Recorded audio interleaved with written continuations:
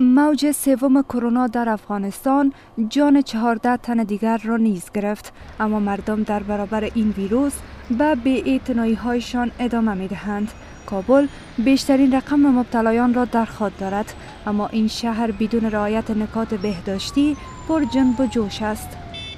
در موتر هم چهار نفر پنج نفر میشونن. خب موتر شخصی هم نداریم ما شما خب یک جایی که می‌دید دستا میتیکت یک دکتر کرد که دواخانه گپ می‌زنید در این روزها وزارت صحت عامه آمار بلند از مبتلایان ویروس کرونا و مرگ و میر ناشی از آن را همگانی می کند که بر بنیاد آمارهای روزانه وزارت صحت در یک شبانه روز گذشته 623 تن مبتلا به ویروس کرونا شدند.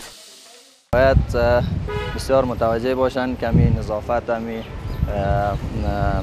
فاصله را باید مرد کنند مسئولان در وزارت صحت عامه می‌گویند تا ده روز دیگر موج سوم کرونا در افغانستان به اوج خود خواهد رسید.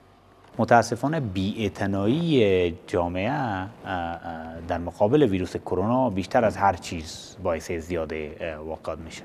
و مطمئنا که اگر ما به طور مثال ما محدودیت را هم وضع بکنیم مطمئنا که تعداد زیادی از هموطنان او را مراد نمی‌کنن و اون محدودیت تبدیل میشه به یک رخصتی تابستانی.